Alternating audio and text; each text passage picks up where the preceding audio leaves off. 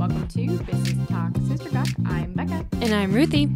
And today we are going to get you awake and alive because we are going to be talking about business taxes. Ooh, look at that spicy content. Let's go.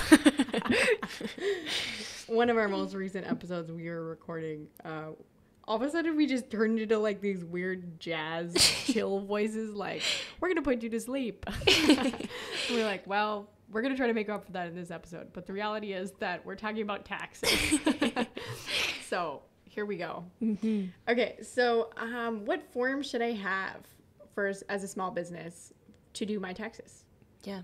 So it depends on what your business model is um, and if you are a sole proprietorship or not. And Bekkah's going to tell us about that. Okay, so the very first thing that I hear a lot from people is, oh, I don't want to start a business because I don't know how to do taxes. But the good news is you don't have to pay any taxes if you don't make any money. Wow. so it's really not scary because you're only putting aside a portion of what you made to pay for the income that you've generated, right? Mm-hmm. So it's not like you're going to have to pay anything when you didn't make any money. So you'll always have the money to pay your taxes if you make sure to save it. So within that, what does that look like? So if you are a sole proprietor, so say people you're just working and people are paying you for doing something, you haven't set up a business, whatever, maybe you're just like a subcontractor for somebody. If you make more than $600 in one year from one person that is paying you, you need to report that on your income tax. Surprise, right?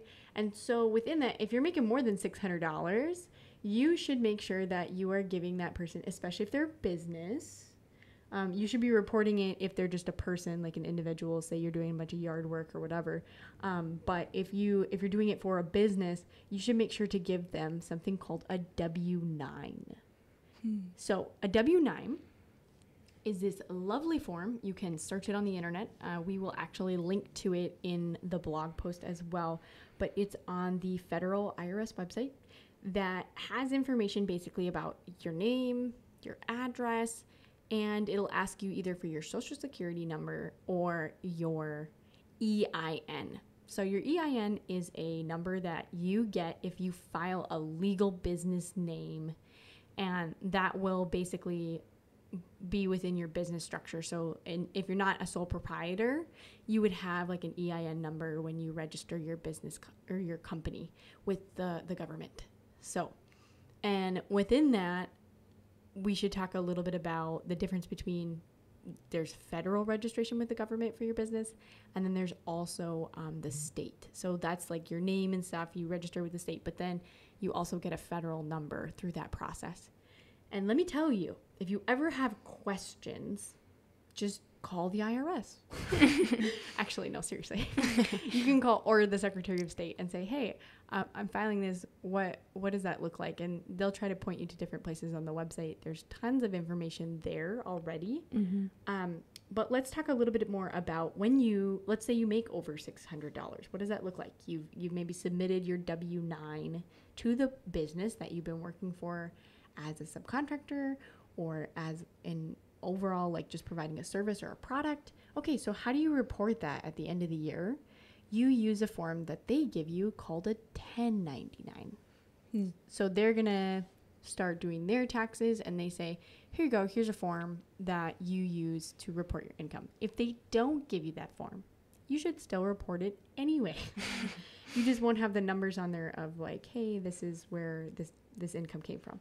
Hmm keeping track of your income is something you can do with accounting software. Dun, dun, dun. I don't even need like little soundtrack things because really just make them up on the spot. I, I come with them built in. It's yeah. my specialty. yeah, you know, you know how like some radio shows they always have like all of these little like sound effects like buttons buttons that they push. I do that in regular life. I just make my own sound effects on accident and they just come out. They're involuntary. involuntary free sound effects. okay, so uh, where were we with? Okay, so like when you report stuff using your accounting system. So let's go back a little bit to talk about should I be filing my taxes quarterly or annually. Hmm. Big question. So, technically, you should be filing them quarterly. But if you're not making more than I think the threshold, which you'll have to look up, it's somewhere between like 15 to 20,000 or whatever. I think it's important to note at this point that neither of us are experts on this. We just have varying levels of experience. Bekkah has more experience with business taxes than I do. I have more experience with like um, people's for personal finance on a day to day basis. And Bekkah has more experience with personal finances as well as business finances. But you really should do a lot of research on your own and not just take everything that we say for granted, which you should do that anyway. But like, just just take everything we say with a grain of salt, even though we have done a lot of research and we have a decent amount of experience with it. Hashtag don't sue us. We're not certified public accountants. We just know stuff that we Google on the internet, right? Mhm. No, actually. And we've had lots of conversations or done it for personal business use or whatever. So, Mhm. okay, anyways, uh, the threshold, okay, I said 10 to 15. It probably is 150. I actually don't know. So you should probably look that up. But you can file annually if it's a sole proprietor because you're doing it on your like regular income tax. Like it's because it's straight through. The money's going straight through to you, not as a business pass through. So it's not going to your business and then to your personal bank account. Mm. Um, but regardless of if it's a business or not, that is like a legitimate filed structure, you should have a separate bank account for your business so that you can track your costs of goods sold better. Because when you track your cost of goods sold and your mileage that you have for going to, to different places for your business or whatever, those are called tax write offs. Ta-da! I was gonna say dan dan again, and then I thought I should switch it up. Ta-da! Oh, okay. okay, your job is to think about your next sound effect to make it unique before the next one. All okay? right. Okay, so tax write offs, those are super important to think about because when you run a business, there's lots of things you can write off for different things. So, like if you purchase equipment, that's a tax write off. You can report and say, yep, I actually took money from the money that I made and I used it to buy new things. So, in the end, when you look at your financial statements, which in the future we'll be talking about how to read financial statements and, and all that kind of fun stuff, um, that is your net. So, at the top is your gross income if you're reading a financial statement, and then below that, it's like, here's all the things that it costs me to run my business. And then below that, after all of the expenses and everything, you will see the net income. So, what did you actually make after you paid for your gas, after you had to buy equipment, all that kind of stuff, right? So, when you do a whole lot of like driving and all that kind of stuff, those things can be tax write offs, but you need to track them. So, when you track them, you can either use a spreadsheet, you can use a notebook in your car, or you can check out. Um, I really like the app um, for QuickBooks Self Employed. It actually has a little like tracking of your location to uh, report this is a trip I made for work. Mhm. And that actually syncs really nicely with TurboTax and all of that, but I am personally not a fan of paying money for things, so I just do it on my own on a spreadsheet. You can also, if you are looking at um, like past and you're like, man, I really should have been keeping track of this. If you are as immersed in Google as I unfortunately am, um, you can actually look at like your trips and stuff on Google Maps and it can show you like, I think it goes back. I don't even know how long, maybe indefinitely. I that's the lie. You would not have it indefinitely, but like it goes back a decent amount of time and you can actually look at the different trips and it'll show you like on this day you went from this place to this place and then from this address to this address and like and then you can calculate the mileage that way if you have to go back Yeah, And that's a lot of work. Also, if you have your location tracking on at all times. which I do because I actually think it's really fun. I think it's really cool. Yeah. Anyway, but so keep that Personal in mind. preference. What are you giving up? What are you giving up in terms of privacy? if you keep it in a notebook in your car, nobody knows where you've been yeah, and nobody's. Oh, hopefully, Google is not tracking that. because that would be weird if they did.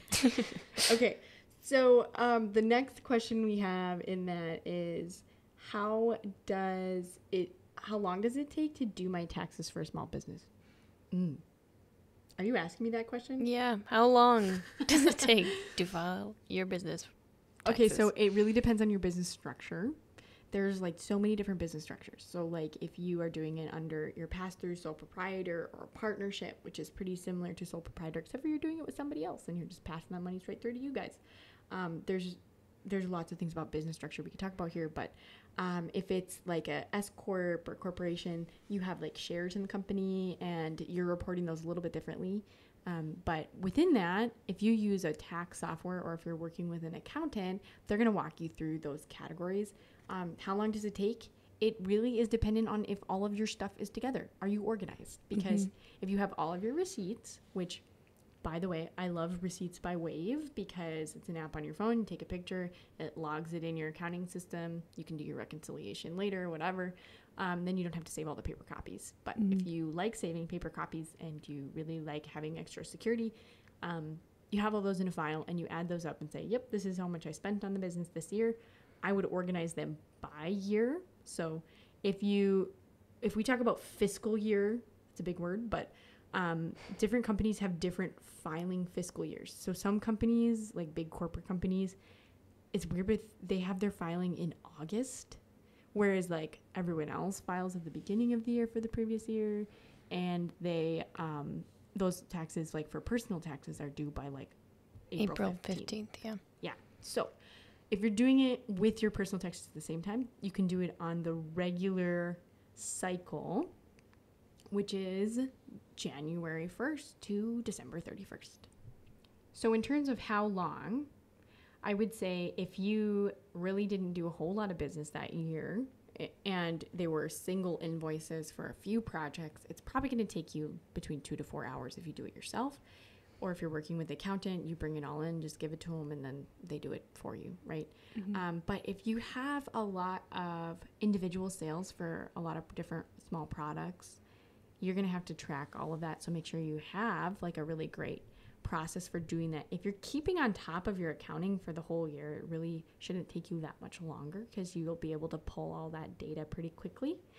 Um, so it's good to know what's available with that. And then Ruthie made a good point earlier about something from a previous episode that we had done.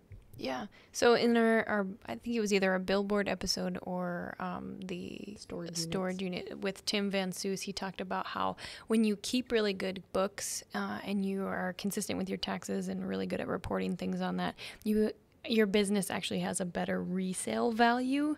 Um, so keep that in mind too. That it is worth it to take the extra time to really be thorough about the record keeping that you are doing for your business.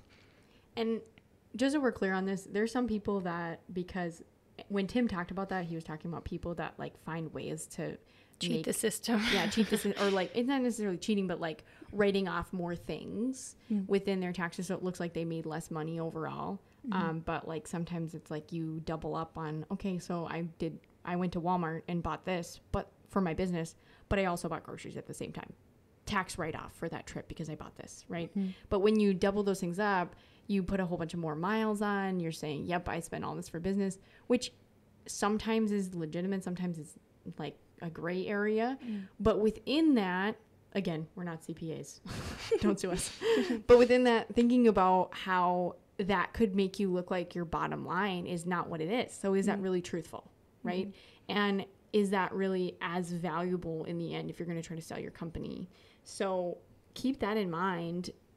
How are you what is your policy and what how are you reporting your taxes honestly? Yeah. What is the difference between reporting taxes for services versus reporting taxes for a product that you've been selling on like a major commerce website or something? So, okay, that's two questions. We're going to back up. There's a big difference between a product that you sell yourself and a product that you sell on a major e-commerce website. So, mm. Those are two different things. So, but service, a service is something you are providing with yourself. So, like manual labor, maybe it's your expertise in your consulting, um, maybe it is doing stuff like teaching a skill, helping someone figure out their Facebook page, whatever. That's a service it becomes a product as soon as you hand over something tangible.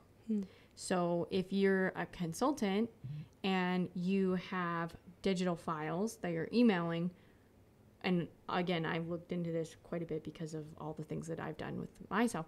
Um, that's not considered a, a physical product. But if you give someone a flash drive, suddenly it's a physical product and you have to charge sales tax.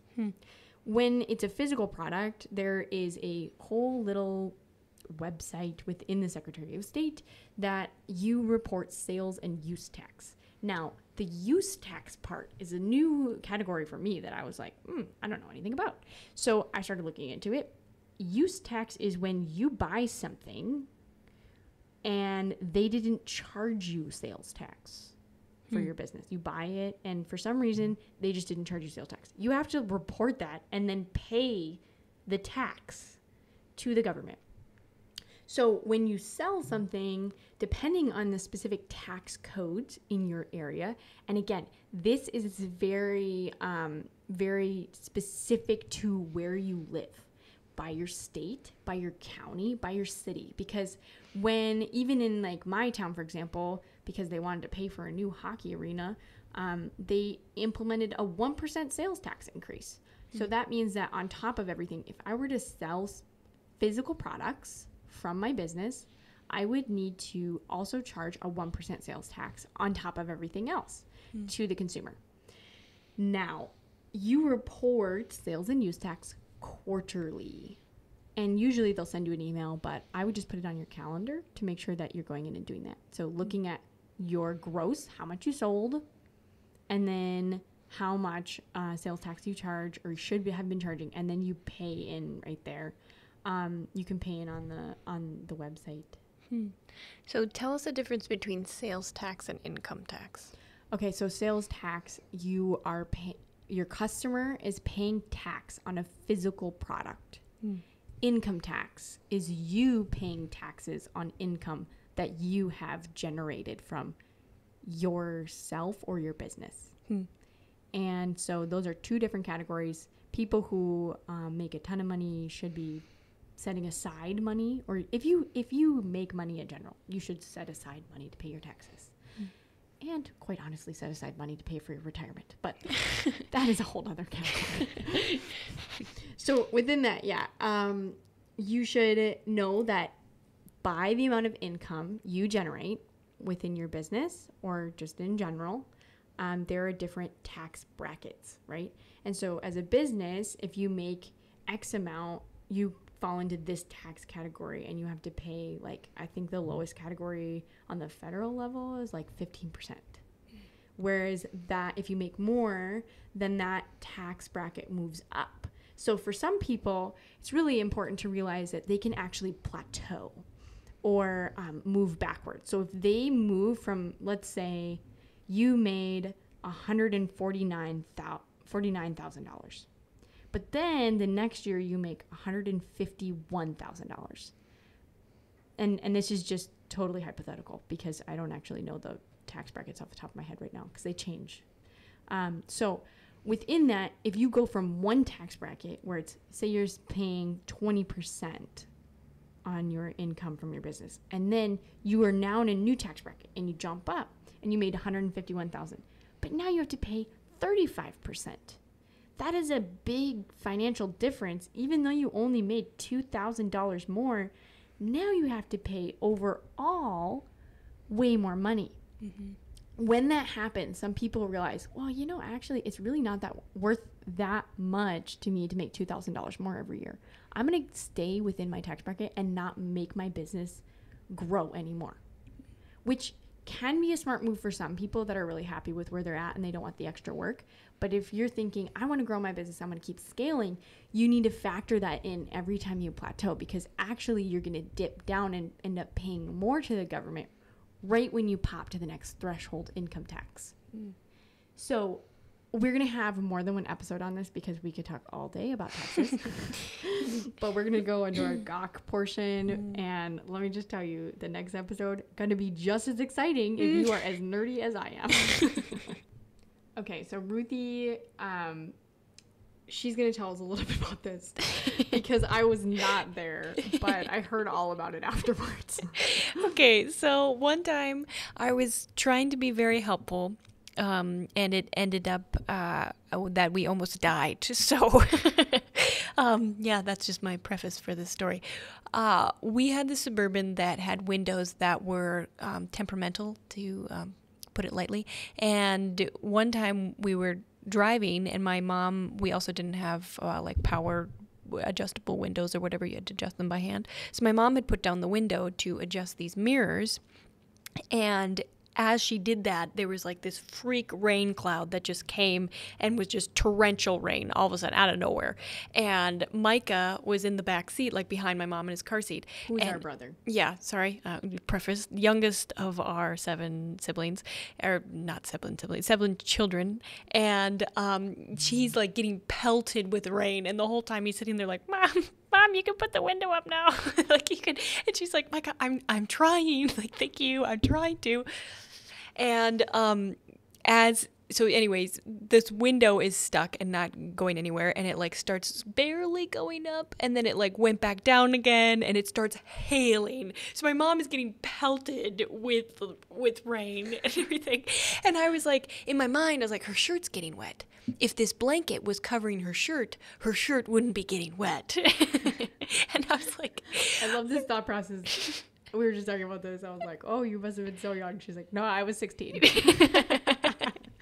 And so I was like, I'm just gonna put this blanket on her shoulder. But to do that, I had to throw the blanket across her body, which it got stuck on on her head.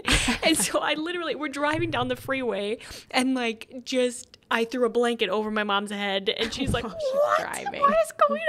And like and she just screamed and I was like, Oh my word, what have I done? and then so then she just slowly like pulled over to the side of the road, whips this blanket off of her head, and looks at me. He was like, "Why did you think that was a good idea?" and I was like, "I don't know. I, I, I just don't know." And yeah, so that was um, extreme. In hindsight, never I would never have done that again. That was a um, big mistake on my part. also, we do not recommend that. Yeah, Just like we're not CPAs, we are not certified driver. safety driving people. I don't even know the word for that. Hey, Basically, Yeah. if you're going to take any advice from this episode, it should be never throw a blanket at over your anyone's own head. risk. No, just don't do it. Don't even take the risk. I meant the tax advice. okay. Yeah. Okay, thanks for joining us this week. Our episode is sponsored by our intern Darby. She's the best. If you like this episode, please share it with a friend because that's how podcasts grow.